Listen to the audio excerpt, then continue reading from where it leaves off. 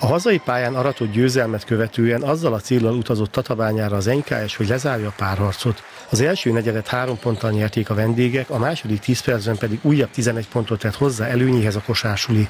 Szünet után sem változott a helyzet, a nyíregyháziak uralták a mérkőzést, a hazaiak csak az utolsó negyedet tudták megnyerni. Azt hiszem, hogy a harmadik negyed volt az, ami megtörte az ellenfelet, Ugye az volt ebben a mérkőzésben jó, hogy akit a pályára küldtünk, az mindenki hozzá tudott valamilyen szinten segíteni ehhez a mérkőzéshez. Tehát mindenki pontot tudott dobni, vagy éppen védekezésben labdákat szerzett.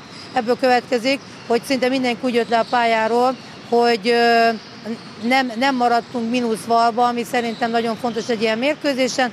Az ellenfél az szép lassan kezdett beletörődni a, a mérkőzés elvesztésébe, és már negyedik negyedbe nem fejtettek ki akkor ellenállást, és az azért is volt jó, mert így több mint három percen keresztül föl tudtuk tartani a kicsiket, tehát itt értem ezzel alatt azokat a serdülőkorú gyerekeket, ugye, akik, akik ilyen mérkőzésen még nem igazán jutottak eddig szóhoz. A nyíregyháziak a döntőbe jutásért a nyugati csoport győztese, a Debrecennel szemben két győzelemmel továbbjutó TFS ellen lépnek majd pályára. Az edzőnő nehéz mérkőzésekre számít. Ezek a játékosok is azért megjárták már az át, és ugye ezek lényegesen fiatalabbak, mint amilyen a tadobányai játékosok, tehát biztos, hogy sokkal nagyobb ellenállást fognak kifejteni, tehát sokkal gyorsabban, agresszívebben fogják a támadójátékokat is szervezni. Biztos, hogy megpróbálnak védekezésben is valamilyen szinten nyomást gyakorolni a mi két pont erősebb játékosunkra, ami ugye eddig úgy volt, de hogyha ez a tendencia marad, ugye ami ezen a Tatabány ellen mérkőzésen volt, és mindenki azt, amit tud hozzáteszi a mérkőzéshez,